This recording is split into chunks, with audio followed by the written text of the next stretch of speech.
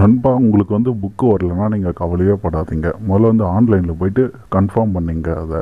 அதுக்கு கூகுளில் போயிட்டு ஏயு டிடிஇ டாட் ஐஎன் அப்படிங்கிற அஃபிஷியல் வெப்சைட்டுக்கு போயிட்டு நம்ம வந்து பார்த்தோன்னா செக் பண்ணோம். இது வந்து ஓகே கொடுக்கலாம். இப்போ நமக்கு வந்து பார்த்தோன்னா ஒரு பேஜ் ஓப்பன் ஆகுது. இல்லை ஃபஸ்ட்டு லிங்க் வந்து நம்ம கிளிக் பண்ணுறோம் கிளிக் பண்ண உடனே ஒரு ஹோம் பேஜ் வந்து ஓப்பன் ஆகுது. இதில் வந்து பார்த்தீங்கன்னா கீழே கொஞ்சம் ஸ்க்ரோல் பண்ணி போனீங்கன்னா கீழே வந்து ஸ்டூடெண்ட் லாகின் அப்படின்ட்டு ஒரு போர்ட்டல் வந்து பார்த்தோன்னா இருக்கும்.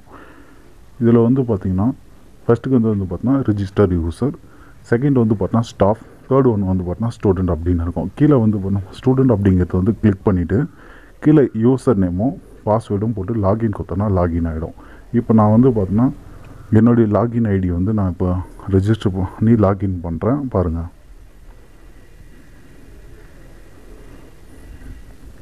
இப்போ இந்த பாஸ்வேர்டு போகிறேன் பாஸ்வேர்டு போட்டு பாஸ்வேர்டு போட்டேன் பாஸ்வேர்டு போட்டு இப்போ லாகின் கொடுத்தோடனே லாகின் ஐடி என்னுடைய ப்ரொஃபைல் வந்து ஓப்பன் ஆகிடுச்சு இப்போ என் ப்ரொஃபைலில் வந்து பார்த்தீங்கன்னா மேலே வந்து பார்த்தீங்கன்னா பர்சனல் ப்ரோக்ராம் அப்புறம் பேமெண்ட்ஸ் ப்ராஜெக்ட் அப்புறம் ஆப்ஷனல் சப்ஜெக்ட் அப்புறம் ஸ்டடி மெட்டீரியல் அப்படின்ட்டு வந்து பார்த்தோன்னா நிறைய ஆப்ஷன் வந்து மேலே வந்து அவைலபிளாக இருக்குது நம்ம இதில் வந்து பார்த்தோன்னா ஸ்டடி மெட்டீரியல் அப்படிங்கிறது வந்து கொடுக்கலாம். இதில் வந்து பார்த்திங்கன்னா எனக்கு தேர்ட் இயருக்கு வந்து பார்த்தோன்னா புக்கு இஷ்யூ பண்ணிட்டாங்க அப்படின்னு வந்து பார்த்தோன்னா அப்டேட் பண்ணியிருக்காங்க.